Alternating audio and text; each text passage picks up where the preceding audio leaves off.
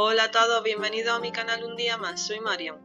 Hoy voy a hablar de María Luisa de Orleans, una reina que fue primera esposa de Carlos II de Austria, que tristemente conocemos por ser el último de la familia Austria, al que se llama el hechizado, no hay que más que verle la cara.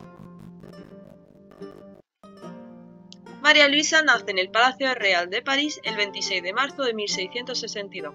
Era la hija de Monsieur Felipe I de Orleans y de la mujer de este, Enriqueta Ana de Inglaterra, que eran primos hermanos, el insecto por bandera. María Luisa era sobrina de Luis XIV por parte de padre. Su padre era abiertamente homosexual y le encantaba travestirse, y tenía una relación con un hombre de la que era conocedora todita la corte. Su mujer, Enriqueta Ana, sencilla ella, se hizo amante del hermano de Felipe, Luis XIV, porque así se la gastaban antiguamente, nena. En este ambiente crece María Luisa, que está muy bien psicológicamente para todo el drama que ve en su casa. Sus padres tienen unas broncas monumentales delante de toda la corte de Saint-Cloud. El embajador francés en España comenta que es muy sensata y muy buena, y no miente. El 31 de agosto de 1679, con 16 añitos, se la casa por poder en Fontainebleau. Mientras tanto, andaba Carlos de peleas con su madre por la boda y se marcha del palacio la reina madre. La guardia francesa manda a un oficial a escortar ya a la reina María Luisa y en el camino un peculiar señor, el caballero Saint-Chamond, se enamora locamente de la reina. Ella no se ha enterado y él vuelve a París gritándole a los cuatro vientos, lo que va a meter a problemas a María Luisa en un futuro. En Quintana Paya se encuentran los monarcas el 19 de noviembre de 1679 y allí mismo se celebra la misa de velación. Los cónyuges quedan, uno encantado y la otra horrorizada. Ya le habían llegado rumores a María Luisa del aspecto de su prometido, pero verlo en directo era peor. El rey siente pasión por su joven esposa, pero no se consuma el matrimonio hasta que pasa un año, y él lo hace sin delicadeza. Dicen que se tarda tanto, en palabras de un cronista de la época, porque el rey tiene constipadas las partes. Tras su primera visita a la Basílica de Atocha, la reina contempla una corrida de toros que le agrada mucho. La reina se encuentra en una corte triste y aburrida en comparación a lo que ha vivido en Versalles. Cierto es que el rey la consiente y la quiere muchísimo, y ella llega a sentir afecto hacia él, pero siempre está bajo una estricta vigilancia. No puede montar a caballo por un accidente acaecido por una dama de la corte, no puede bailar ni vestirse a la moda francesa, así que se dedica a escaparse para poder hacer buena obra ella misma en persona, lo que escandaliza a las damas de la corte española que eran un poquito delicadas.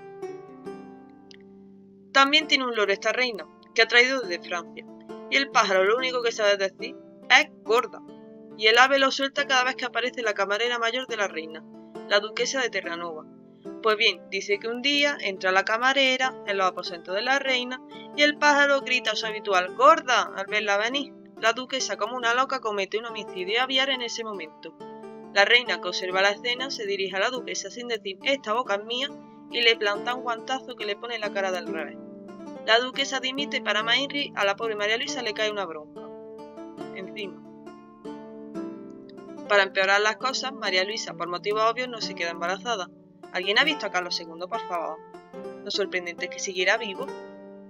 Por las calles corría una coplilla bastante cruel. París, bella flor de lis, que en aflicción tan extraña, si París, París a España, y si no París, a París. Ya se estaba pensando en volver a la reina a París, a pesar de que el problema sucesorio estaba claro que no era suyo. Los cortesanos españoles les pueden clavar un hacha en la espalda, pero decís que el rey es estéril. A la hoguera, señora. María Luisa confiesa en un diplomático francés que sabe que nunca va a tener hijo.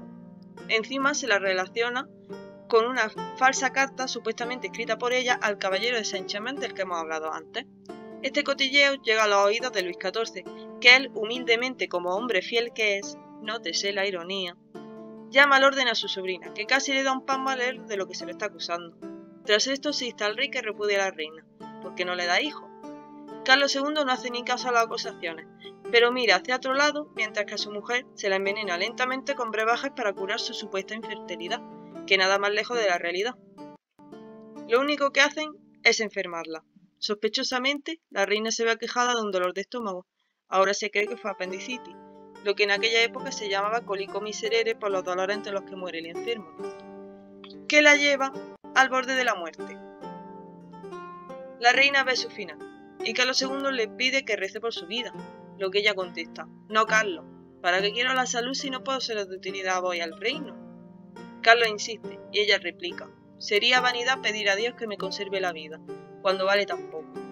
Dos frases que reflejan fielmente el pensamiento hacia la mujer en aquel entonces.